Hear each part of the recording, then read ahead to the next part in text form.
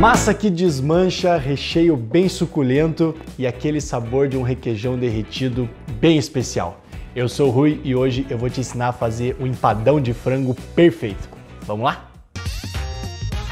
Para começar, a gente cozinha o frango para depois desfiar ele. Então eu tenho aqui um peito de frango com osso mesmo, isso aqui vai dar sabor. Eu coloco na minha panela ele inteiro aqui. Cebola, só corta em quatro assim mesmo. Cenoura, bem lavada, pode ir com casca mesmo, não tem problema. E salsão, só quebra assim um pedaço grande, também para dentro. Pimenta do reino, pimenta branca em grão aqui dentro, eu coloco um pouquinho. Cobre de água, não precisa ser água fervente. E deixa cozinhando por 30 minutos é suficiente. Agora vamos fazer a nossa massa. A massa pro empadão, aquela que a gente chama de massa podre, ela na verdade se chama massa brisée, tá? Então é super fácil de fazer, super famosa na confeitaria. Só leva farinha de trigo, uma pitadinha de sal, manteiga tem que estar tá gelada em cubos porque isso ajuda na hora da gente fazer a massa. A gente vai fazer esse movimento aqui com o dedo para começar a misturar a manteiga na farinha. A massa começa a incorporar, ó, ela já gruda aqui na tua mão e aí sim ela vai ficando mais uniforme. Olha só como é que tá a nossa massa, bem homogênea, Coloca a massa num papel filme, a gente deixa descansar na geladeira pelos mesmos 30 minutos do nosso caldo e a gente já volta. Bem cozido, perfeito. Esse caldo aqui não joga fora não, tá? É só coar ele, ele é um excelente caldo de frango para você fazer sopa, para você até cozinhar o teu arroz, se você quiser, enfim, não desperdiça. A gente vai desfiar esse frango aqui. Tá quente, tá quente. Cuidado. Ai. Ai. Vamos dar um pegador aqui para não ter problema. Perfeito, sai inteirinho, é bem mais fácil do que desossar antes e dá muito sabor, tá? Para desfiar o frango, pode fazer do jeito tradicional, com dois garfos e vai desfiando. Ó, pode até fazer com a mão se quiser, tiver mais paciência. Desfiado o frango, vamos pro recheio.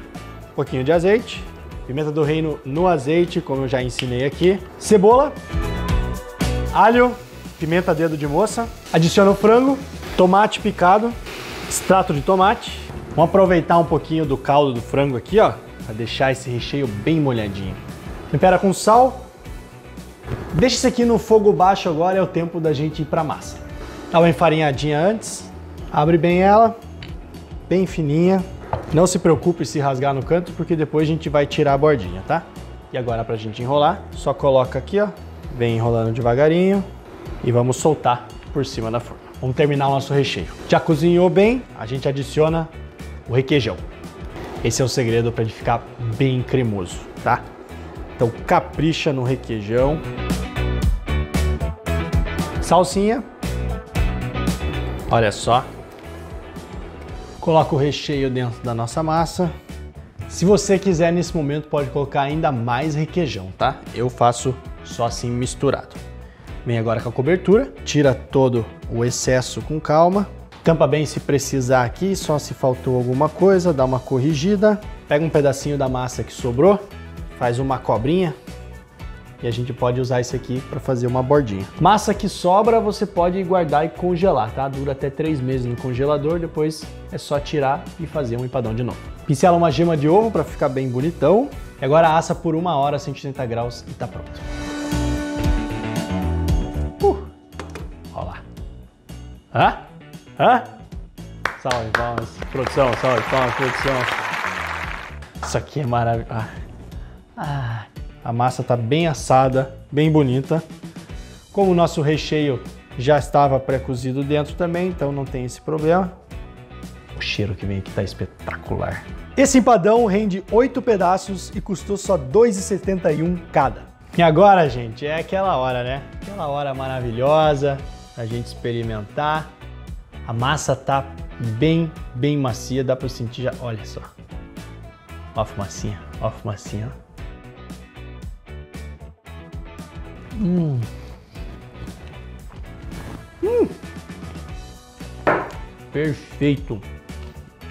A massa tá bem quebradiça, o recheio super suculento, úmido, saboroso, o requeijão deixa muito cremoso. Cara, é o lanche perfeito para você fazer na sua casa para sua família. Me segue aqui nas redes sociais, me conta quando você fizer como é que ficou e a gente se vê na semana que vem. Eu vou ter que terminar esse pedaço e mais todos os outros aqui. Até lá!